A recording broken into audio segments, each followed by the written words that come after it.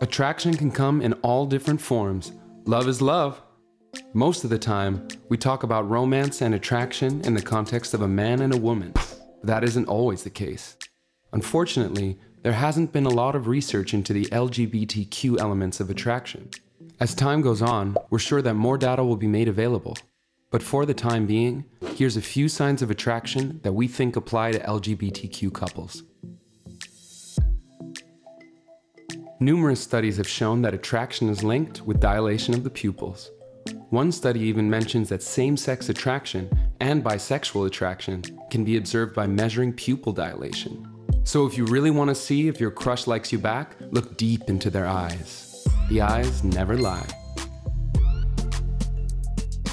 If someone is attracted to you, they're probably going to take every opportunity they can to touch you, we feel that this applies to LGBTQ couples just as much as it does for heterosexual couples. One study stated that touching was a major sign of flirting, mostly when greeting or saying goodbye. The longer couples touched, the higher the attraction. Once again, we return to the eyes, the windows to the soul. Studies have shown that maintaining eye contact is a major sign of attraction and flirting. The longer someone keeps eye contact, the more likely that they're attracted to you. The eyes are such an intimate part of the body, but they're not connected to any one gender or sexual identity. That's why this is a universal sign of attraction that often holds true. Sure, sometimes people just want to wear revealing outfits without trying to attract others. We're not saying that showing skin always means that someone is attracted to you. But one study found that a common flirting technique was subtly exposing more of the body to their crush. An example might be something as innocent as rolling up the sleeves. Could this be a sign of flirting that extends to the world of LGBTQ? We think so. Sometimes it's easy to see that someone is attracted to you. It's written all over their face. Some are harder to read than others, but there are facial expressions that only say one thing. I'm interested. According to one study, a big sign of flirting is a coy glance.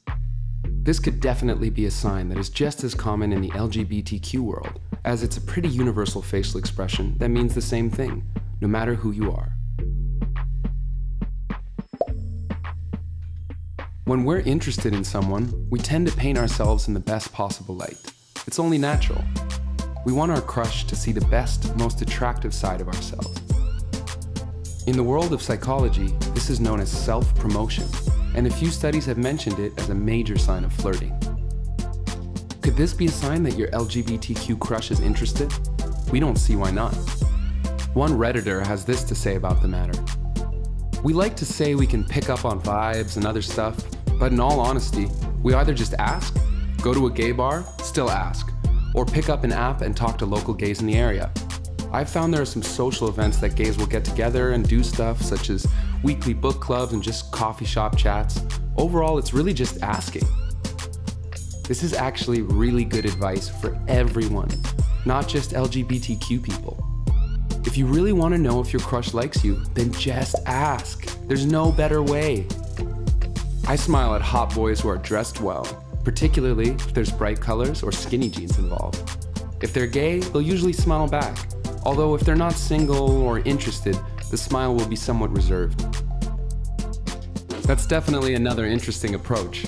It seems like a mixture of both the outfits and smiling is enough to let this person know whether someone likes them back. It seems to work well for them.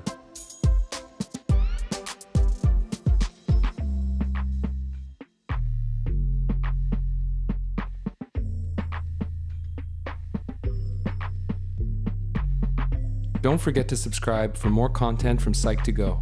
Thanks for watching.